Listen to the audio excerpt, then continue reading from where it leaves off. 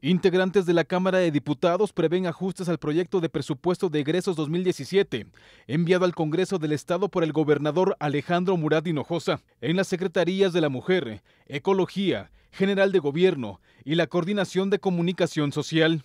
Durante una reunión sostenida este lunes entre el subsecretario de Ingresos de la Secretaría de Finanzas, Jorge Antonio Benítez Calva, y los integrantes de las Comisiones Unidas de Presupuesto y Programación, así como de Hacienda, la legisladora Silvia Flores Peña resaltó que en el planteamiento del Poder Ejecutivo existen disparidades en los recursos de la Secretaría General de Gobierno, a la que le fueron asignados recursos por 587 millones 933 mil pesos y el departamento que se encargará de difundir la imagen del gobierno estatal para el que fueron dispuestos 297 millones de pesos.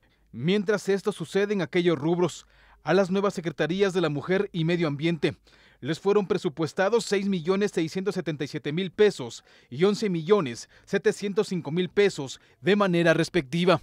Es curioso el dato de que a la Secretaría General de Gobierno se le haya asignado un presupuesto incluso más alto que el destinado para esta legislatura. Entonces, sí, entonces hay formas de poder ajustar el presupuesto y en esa revisión estamos. Comunicación Social también tiene un presupuesto bastante generoso. Entonces estamos sobre eso para que se destine más que nada a la cuestión social todo lo que sea para eh, la cuestión social, nosotros lo, apoyaremos sin duda alguna. Efectivamente, no puede haber participación de la mujer en otros ámbitos mientras que el, económico se, se deje de lado.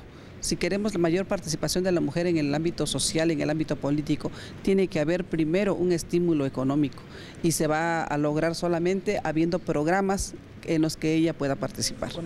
Todavía no tenemos una fecha, estamos en la revisión porque tenemos que, ser muy responsables en esto para que a, a todos nos vaya bien.